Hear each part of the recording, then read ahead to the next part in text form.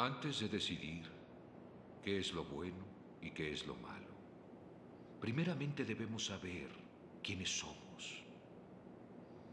Yo mismo no lo sé.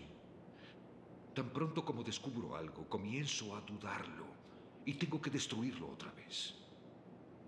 Lo que hacemos es apenas una sombra de lo que deseamos hacer. Y las únicas verdades que podemos señalar son las siempre cambiantes verdades de nuestra propia experiencia. Yo no sé si soy verdugo o víctima, pues imagino las más terribles torturas y conforme las escribo, las sufro yo mismo. No hay nada que no pueda hacer. Y absolutamente todo me horroriza. Y veo que también otras personas se convierten en extraños y son capaces de actos impredecibles. Hace poco tiempo vi a mi sastre, un gentil hombre culto que gustaba hablar de filosofía. Vi la espuma en su boca y cómo gritó con rabia y atacó a un hombre de Suiza, un hombre grande y fuertemente armado. Lo destruyó sin piedad. Y entonces lo vi desgarrar el pecho del derrotado hombre, extraer su corazón aún latente y tragárselo. Un animal loco. El hombre es un animal loco. Tengo mil años y en ese tiempo he ayudado a cometer un millón de asesinatos. El mundo está salpicado. El mundo está salpicado de tripas humanas y nosotros los sobrevivientes. Los sobrevivientes Caminamos sobre una tremenda pila de cuerpos siempre bajo nuestros pies. Cada paso que damos, huesos podridos, cenizas, matas de cabello bajo nuestros pies, dientes rotos, cráneos abiertos. Un animal demente.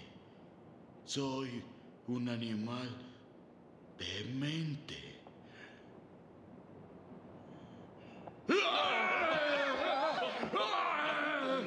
Las prisiones no ayudan, las cadenas no ayudan. Escapo a través del muro, a través de la basura y de los huesos quebrados.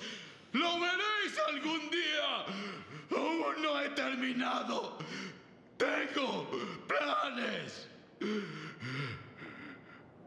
Nosotros inventamos la revolución, pero no sabemos cómo manejarla. Escuchen, todos quieren conservar algo del pasado, tener un recuerdo del viejo régimen.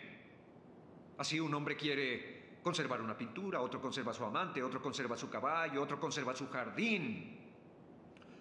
Aquel conserva sus granjas, aquel conserva su casa en la ciudad, aquel hombre conserva sus fábricas, aquel no podía separarse de sus muelles, aquel otro conserva su ejército y aquel hombre conserva a su rey. Así que nos sentamos y escribimos en la Declaración de los Derechos del Hombre la santidad de la propiedad privada. Y ahora veamos a dónde nos lleva. Cada uno de los hombres es libre de pelear fraternalmente con su prójimo y desde luego, cada hombre buscando su beneficio, hombre contra hombre, grupo contra grupo, en un feliz robo mutuo. Y nos sentamos aquí, más oprimidos que cuando comenzamos. Y ellos creen que la revolución triunfó. Y ahora la reacción del pueblo.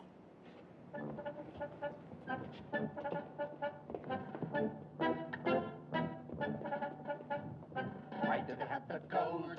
Why do they have the power? Why, why, why, why, why? Do they have the friends at the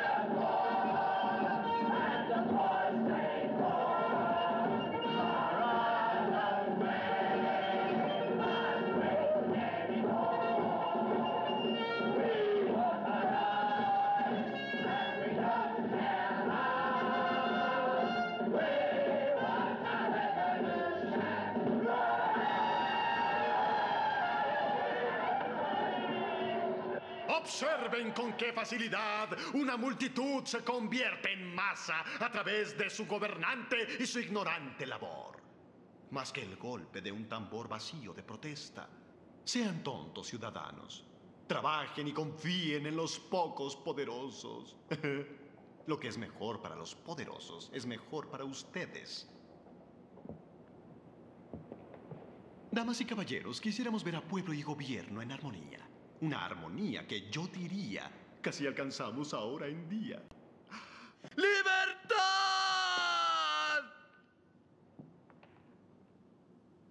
Hay recostados, rascados e hinchados, sus cejas quemándose, en el mundo su baño.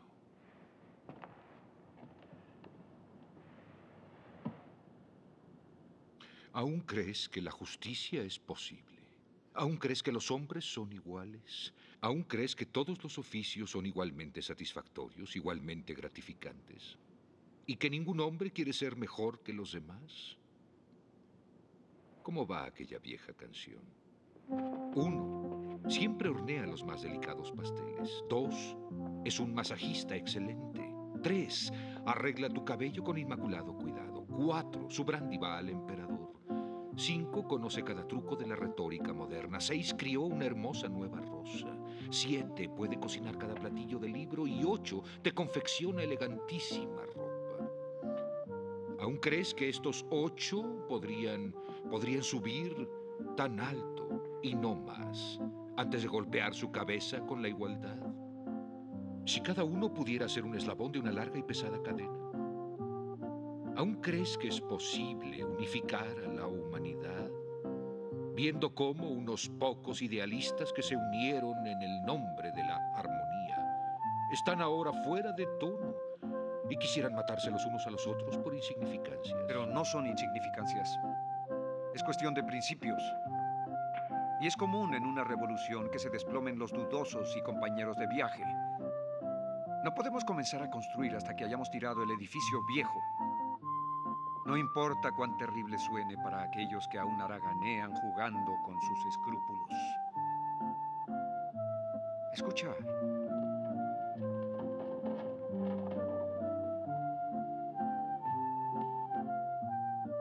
¿Acaso no oyes cómo susurran y traman? ¿No puedes ver cómo acechan? Esperando la oportunidad para atacar.